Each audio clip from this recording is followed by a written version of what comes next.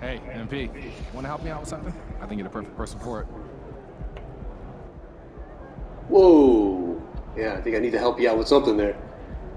I'll take the 600 VC.